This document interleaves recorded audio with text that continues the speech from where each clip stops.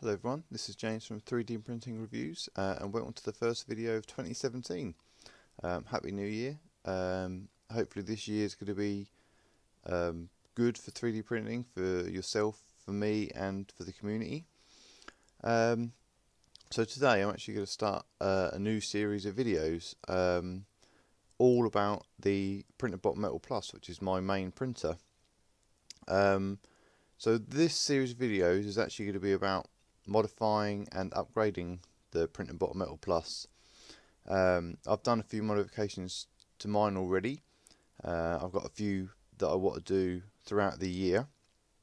So actually the first few videos for this year are actually not really going to be um, anything, I'm not really going to be printing anything. I'm going to be talking about the printers I've got, the upgrades that we can do, the upgrades that I've already done, etc. Um, if you can see over my shoulder there, you can see that we've got the uh, Endfire 1. Um, obviously, I'm waiting for the Kickstarter reward to turn up for that. So, um, we've got no progress to make on that printer, so we're going to start on another one. Uh, so if I uh, head over to Thingiverse, we can have a look at um, what I like about Thingiverse is that you can um, create your own collections of stuff. So you can see here I've got a few different ones and I've got one specifically for the Printrbot.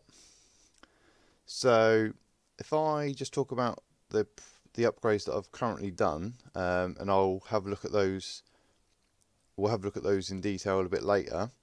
So the upgrades that I've done so far are actually all been done by one person uh, and that's Richard at Uh, so that one we're going to be doing. So if we look at this one first, uh, Printrbot Printrbot Metal Plus wide foot. So if we click on that, you can see here these red um, prints here are basically feet that go on the bottom of the printer.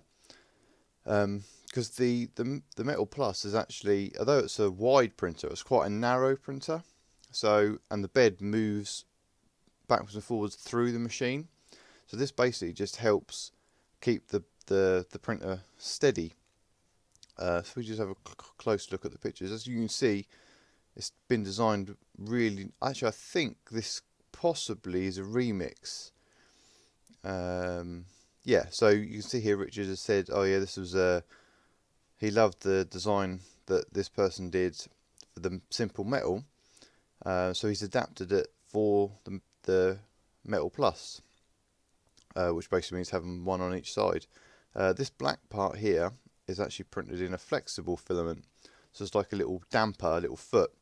So, and then obviously Richard's got the, the models to download as well. So those I've already done. So let's go back. Um, the next mod that I did, or the mod, yeah, next modification I did, another one of SpannerHands designs. Um, so this is basically a filament holder sort of arm that that you print two of and that sort of really clever clips onto the back of the the metal frame um, of the printer so again I've done that the the metal plus did come with has got a couple of options for mounting spools. Um, when the first came out the the power supply um, unit has got a spool holder on but that's sort of in an awkward place because it sort of sits to the side of the printer so it doesn't really feed very well. And then later on Printrbot added um, uh, an attachment that you could buy that basically attached to the side of, of the printer which would be sort of um, in this area here which sort of hung over the printer and allowed you to hook a spool on. Uh, but this is a really clever idea. Um, and you can see that Richard's linked to another um, part which I've also printed. And this basically is this this round part here um, you can see that he's added this to his Prusa Mark III Mark II uh, and basically what this is is a it's a round print that you put six or eight um, roller skate bearings on roller board bearings I should say. Um, and then the spool sits on this round bit here and just is really smooth so that it cuts down on the dragging that may occur and even the small amount of drag that the, the extruder would do for the filament can cause a little bit of lift. So that's really clever. So that's another um, modification that I've made to my printer. So we just go back a bit more. Um, now I my printer has the um, the Ubis 13S, which is a um, I'm not sure if it's completely all metal hot end, but it's a mostly all metal hot end, or mostly metal hot end that Printrbot came out with. Um, and orig it's not it's not supplied with a uh, a heatsink fan, um, but a, a few people have said, "Oh yeah, you should have a fan on." Some people have said you haven't. So um, this, let me just adjust that camera. There we go. Uh, so this uh, modification by Timelapse21 is just a small, um, and I've actually got it here, a small print that you can do that um, allows you to attach a 40mm 12 volt fan and then that just clips onto the front of the the Ubis 13S so that's a that's uh, an upgrade that um, I do occasionally use if I'm doing a long print because um, the reason for a fan obviously is to stop heat creep. Um, and if you're only doing a print that's say an hour long it's not probably not going to do much use. But if you're doing a say an 8 hour plus print it can be of use to just add that fan on there. So that's another um, modification I've done.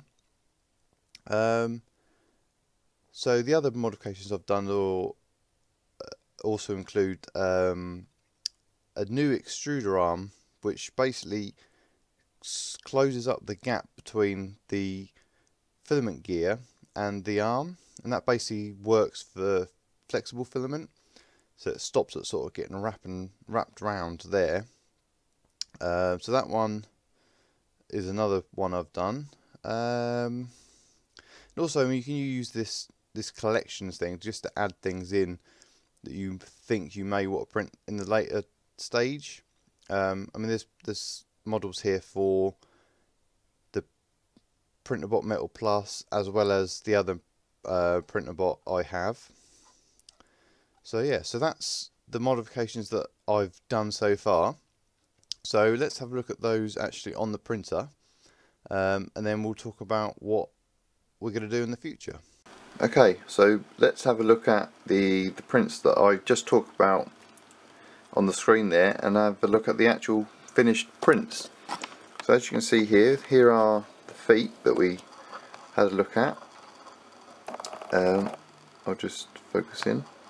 So I decided that the, the upgrades that I was going to do to the, the Printrbot Metal Plus I was going to do all in one colour um, just so it has sort of a, a uniform look. Um, so you can see here we've got the the feet and then the sort of the rubber or the flexible pad at the bottom. And they just attach um, to the side of the printer in the existing holes that were there.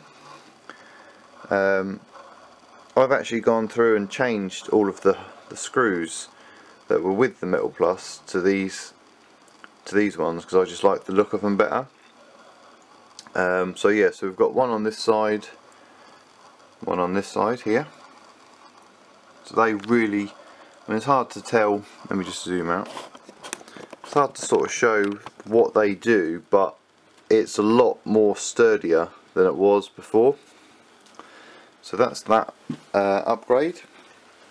And if we come up here, we can see our filament spool holder. So that just basically, Show you the actual design. So you've got that um, small groove there and then there's a very small sort of um, part on the back there. So basically what you do is you come at the front here and that clips in there and just pushes over and moves along uh, and then you've got the sort of the coaster bits that I spoke about at the top here. Just zoom in on those.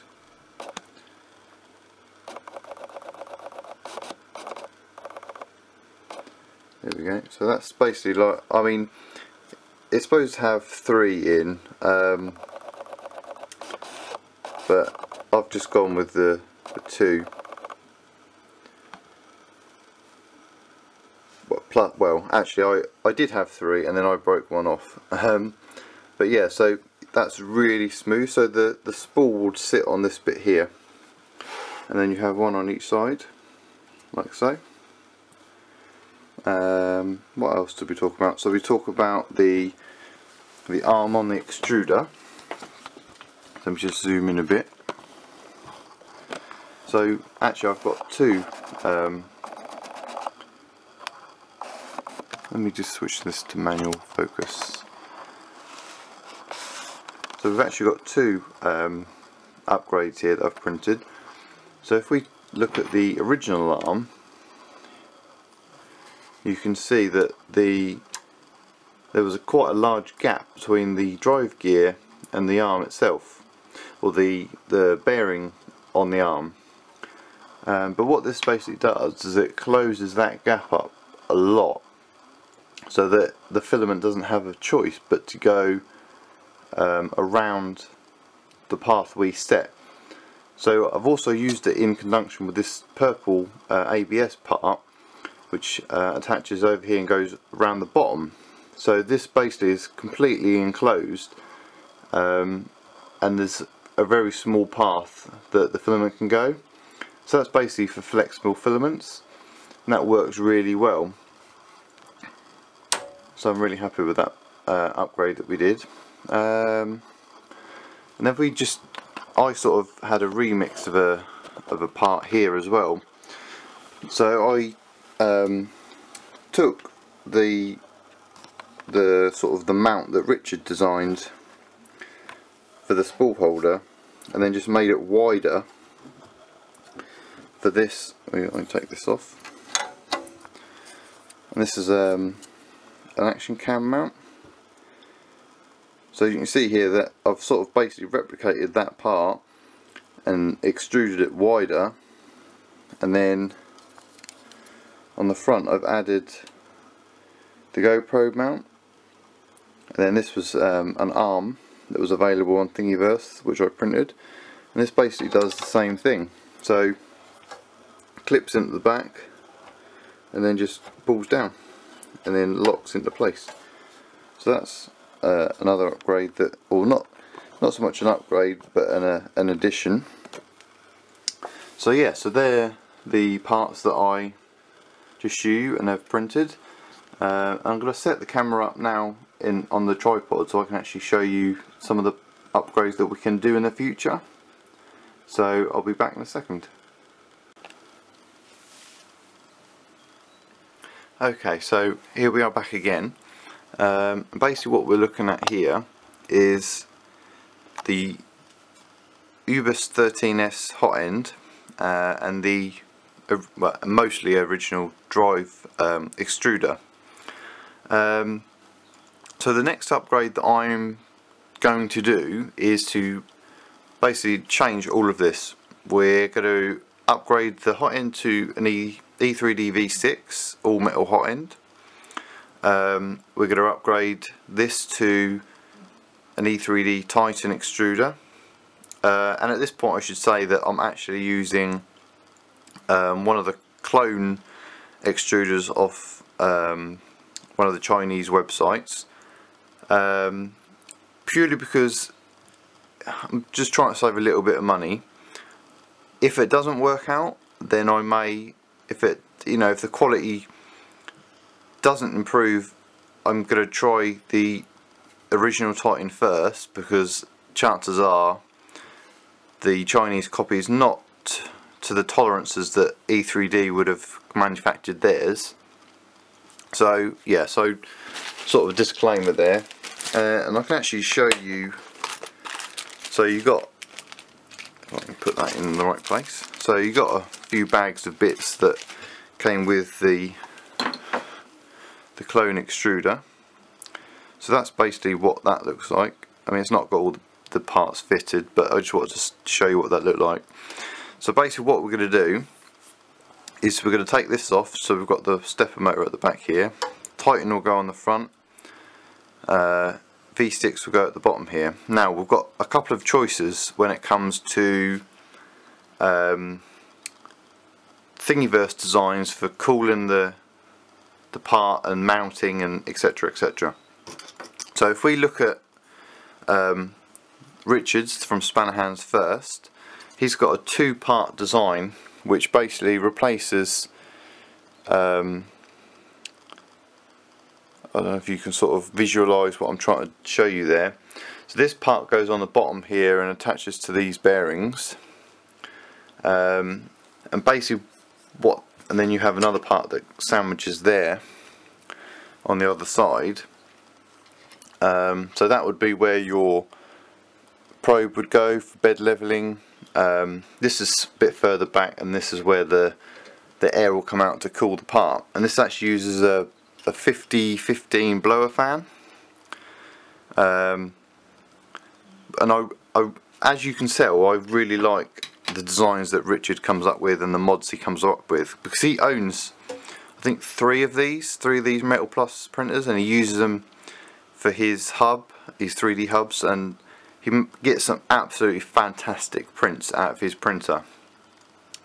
Um, the only reason I'm considering another design is because Richard's design includes having to cut um, a part of the metal metal plus um, bodywork if you like the the thing. It basically means this um, where this um, probe mounts you have to cut off here and then use this as a spacer. So you've basically got to cut a part of the um, bracket.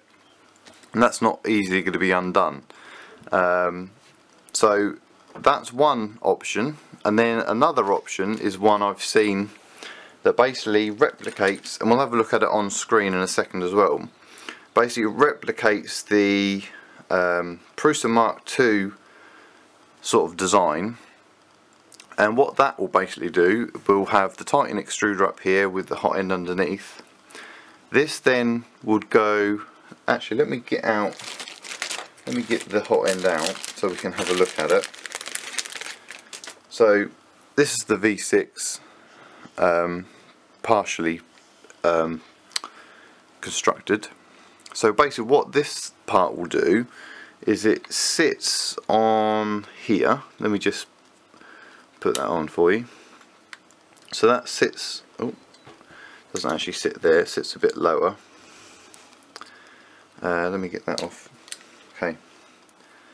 Uh, now I've got to try and think which way around it goes. So it goes around that way um, and I know I'm not showing this on camera because it's a bit awkward to to put together. There we go. Right. So that's what that would do. So it would fit like that. So you'd have your original 30mm fan from E3D um, it actually would sit and I'll put that upside down. This is very awkward to to show. So let me just try that again. Right so it goes that way round with this sort of um, angle here this would sit this way.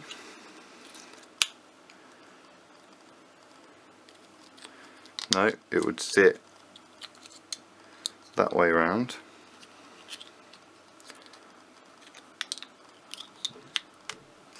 right. Now I think we're right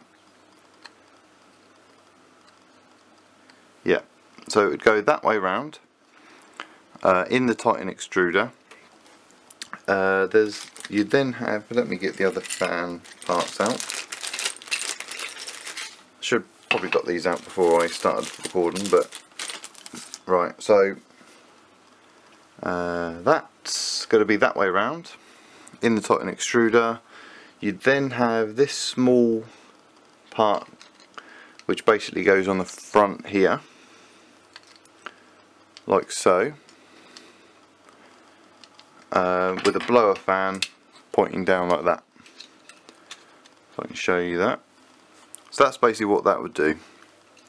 My only concern with this design is whether it will fit on the actual printer. Uh, well, it'll fit on the printer, but what I mean is, um, so you'll have that hot end in there with the Titan. So you've got to have a bit of a bulk out the front here. Let me zoom out uh, and I can show you what I mean.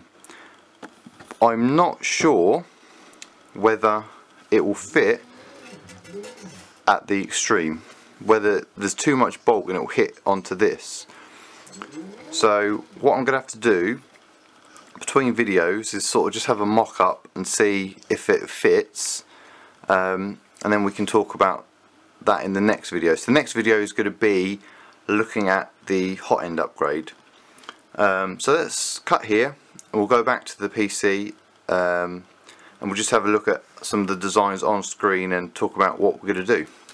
So I'll see you in a second. Okay, so here we are back again. Um, so let's have a look at uh, Richard's design first. So as you can see here, this is uh, the Metal Plus with the Titan extruder, the original from E3D. Uh, you've got your V6 on the bottom here, uh, V6 heatsink fan, and then the probe that is, so this has got the standard uh, Printrbot probe on. If we just move along the pictures here, you can see here what I was talking about having to cut part of the bracket. So that's going to mean having to, to cut the bracket, it's not easily going to be undone. Um, I know that I, I know this is a proven design, I know it works because as you can see there's a print from it. It's absolutely brilliant. So I've no worries about whether that it's going to work. I know it's going to work. I just like to try another design first so that I can see if I haven't got to cut it. So that's Richard's design. Tells you about um, how to print it etc the fan that you'd need the hardware that you'd need to fit it. So that's really good. If we just go back we'll have a look at the the other one. So this is the E3D fan with the integrated layer fan. So it's basically sort of a a not a clone it's a uh, an interpretation of the Prusa Mark II design um, so basically that that's what it would look like so you've got your fan for the heatsink here um, and then you've got your cooling fan here so I, you know, I've printed these bits off as you saw. Um, so yeah, so they're the two options that I've got. Um, what I'm going to do off camera is obviously have a little have a little mock around play see if things fit. Um, I won't actually do the final fit until I record a video again. But I want to just see on camera, or sorry, see off camera that they fit. Um, because if it doesn't fit then I won't do it. I'll do Richard's design. Um, and we'll do all of that on camera and we'll have a look at that and see how it works. Um, so yeah so that's the what that's the next upgrade we're going to do the hot end uh, and they're the options that I've got for doing it. Uh, if I just I did did play around with actually designing a replacement bracket with the the modification already done. But as you can see it just wouldn't it wouldn't have had the strength needed to support the hot end and the, the extruder and the stepper motor etc so that would have been let me see if I can orientate it properly for you so that would be that way round. That would be the back of the bracket. The extruder motor, the stepper motor, sorry, would have set, sat this side. But because of the orientation of the print, you know, there's no no strength there at all. Um, so there wouldn't have, there would have been flexibility as well, which could have caused problems. So that wasn't an option. Um, so yeah, so that's basically the hot end upgrade that we're going to do. Uh, I just want to show you actually if I can find it, if you just bear with me. Um, I've got uh, another design I, or another upgrade or modification I've done, which is this. It's called a nozzle magazine. I really like it. It's really clever. So it's basically, let me get that on camera. So it's basically a round um, print that you screw the nozzles into, and they actually do screw in. I've actually tightened them down, but there's actually threads on the inside of each hole. And the, these have got sizes on. I mean, that doesn't really matter too much because I've I've got different size nozzles than than the the parts that are printed on there. But I thought that was really clever. So I just want to see if I can find that um, design. Let me just log in here. Do, do, do, do. Um, and then we'll have a look at the the actual model. There we go. Nozzle mag. I thought that was really clever. And it's made. This person's used it on an uh, alt make alter Ultimaker. It's not really loading up very quickly, but there we go. Scroll a bit. There we go. So it's like a nozzle mag. I thought it was really clever. Yeah. So that's another one that I've done and is on going to be on the printer. Just wanted to show you that before we end. So yeah, so that's really it for today. Um, I'm going to have a play around off camera, see if those things fit, and then in the next video we'll be looking at actually fitting that upgrade. Um, and then in future videos, we're going to be, the videos after that, we're going to be looking at firmware upgrade because of the new hot end. Uh, and also we're going to play, not play, but we're going to sort out the bed issue, the heated bed issue I've got. The issue I've got, if you heat it too much, it just, the, there's no play in it, it sticks and causes layer shift and all sorts of problems. So that's going to be addressed in another video as well. Uh, so that's all for today. Thank you for watching. Uh, please consider leaving a like if you enjoyed the video. Please comment below if there's anything you want to ask or comments you want to make. Um, and until next time, keep on printing. Thanks for watching.